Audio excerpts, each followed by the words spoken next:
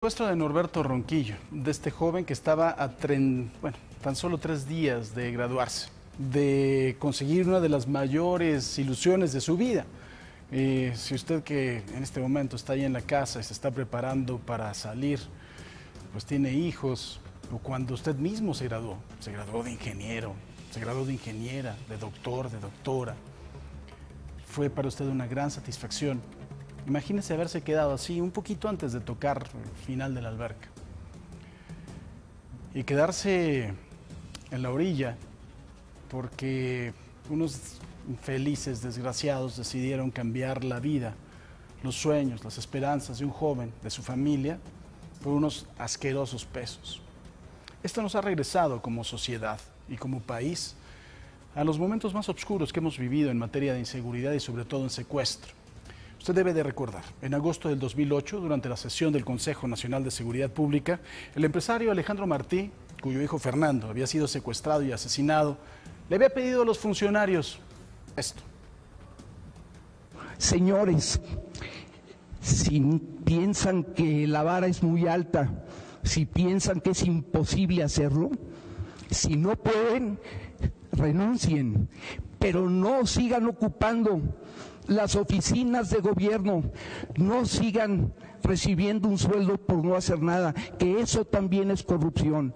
Nuestro país está lleno de jóvenes recién egresados de las universidades que requiere el trabajo de ustedes y que estaría gustoso con todo el entusiasmo de gente joven y limpia, nueva y no maleada, de hacer el trabajo que ustedes no están haciendo.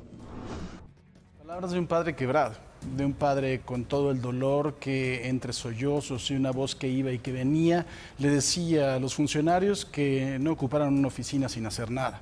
Ahora que estamos sin duda, tan de moda en este asunto de la corrupción, la incompetencia y la estupidez para hacer un trabajo también es corrupción. Quizá la peor de ellas, porque es la que causa más dolor. Otro padre también hecho pedazos. Esto fue en septiembre, septiembre del 2008. El profesor Nelson Vargas, a un año de que su hija Silvia Vargas Escalera había sido secuestrada y no sabía nada de ella, de verdad hecho pedazos también, le pedía a la sociedad, le pedía a los secuestradores, le pedía a todo el mundo que lo ayudaran. Necesito de la sociedad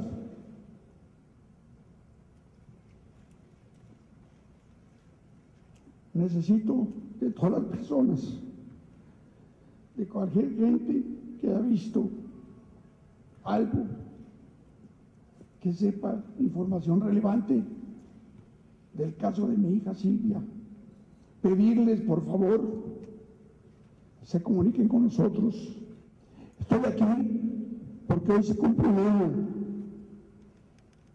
del secuestro de mi hija y considero importante que la sociedad, sepa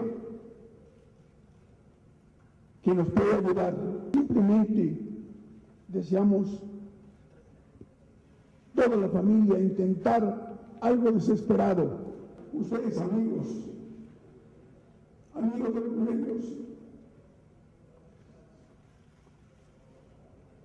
tengan ustedes la seguridad, aún pasen un día un año, lo que sea de tiempo, voy a buscar a mi hija. Me debo a mi actividad cotidiana y quiero que mis hijos tengan un ejemplo de interés y de fuerza.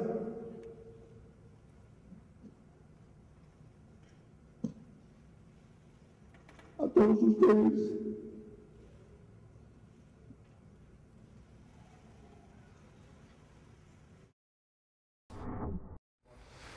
¿Cuántas lágrimas? ¿Cuánto dolor? ¿Cuánto dolor innecesario? Desde el 2008 al día de hoy se dará usted cuenta que no es un asunto de partidos políticos. Por ahí pasó Calderón, Peña Nieto, el día de hoy López Obrador, PAN, PRI, Morena, y la realidad es que en 11 años no ha pasado nada. Quizá lo único que ha pasado, sabe que es que el secuestro se ha democratizado. Sí, Ahora cualquier persona puede ser víctima de secuestro. No se necesita ser hijo de un gran empresario. Ahora por unos malditos pesos, esta sociedad que ha sido el caldo de cultivo para que este tipo de cosas sucedan, ha generado esto. gente que no tiene sentimientos, gente que no tiene alma, gente que no tiene corazón y gente que está dispuesta a matar, a quitar una vida, a quitar sueños, a quitar ilusiones, a hacer pedazos a este país. ¿Por qué? Porque la sociedad también ha fallado. No es un asunto de gobiernos, pero sí también es un asunto de capacidades. Ayer la señora Norelia Hernández, madre de Norberto, también le reclamaba a las autoridades. Esto fue lo que dijo en un duro reclamo. Una mujer hecha pedazos, una familia hecha pedazos, una mujer, una madre muerta en vida porque le arrebataron a su hijo. Y nosotros como sociedad, o sea, empezar que vimos, no sé, quién se llevó ese niño, por qué lo llevan ahí, qué placa, o sea, no es posible que nadie veamos nada, no es posible que, que nadie sepamos nada. O sea, e, e, es, una, como ya pasa todos los días, es como si, pues ya, ya, ah, otro más. O sea, tenemos que sensibilizarnos, tenemos que empezar a ser uno solo, a ser un, un solo México y, y que sea un solo Norberto. Si no pueden, renunciar, Lo que decía Alejandro Martí hace 11 años. La incompetencia, la incapacidad Ojalá que a todos y cada uno de los funcionarios que tienen que ver en materia de seguridad y que tienen que ver en materia de seguridad de justicia, este asunto de si no pueden renunciar los acompañen todos los días.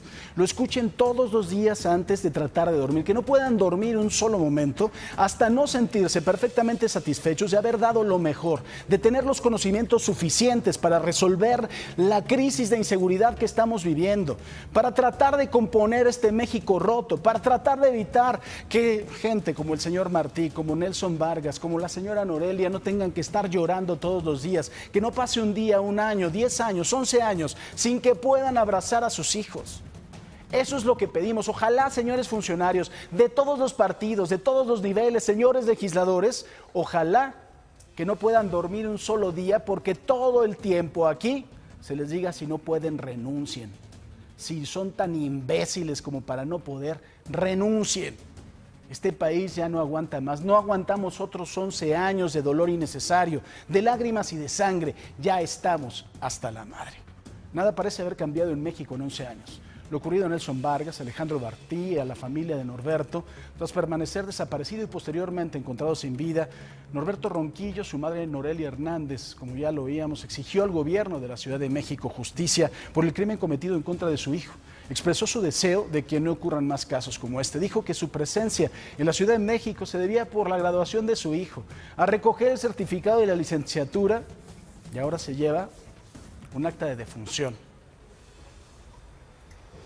Y la señora Norelia expresó también que no guarda rencor, pero ha pedido a la Procuraduría de la Ciudad de México que no pierda el tiempo y que continúen con las investigaciones. Que esto no vuelva a pasar, que, que la vida de Norberto tiene que haber sido por una razón y que si ya este, a mí me tocó este desenlace tan trágico, pues tengan toda la, la presión, este, la fuerza, que inmediatamente pues se proceda, que, que, hay muchas cosas que yo siento que sí, yo sé que tienen que hacer preguntas, investigar, pero en el momento pues yo creo que, que ya después me dirás detalles, o sea, actuar, yo creo que sí se ha perdido tiempo en, en el principio y se perdió.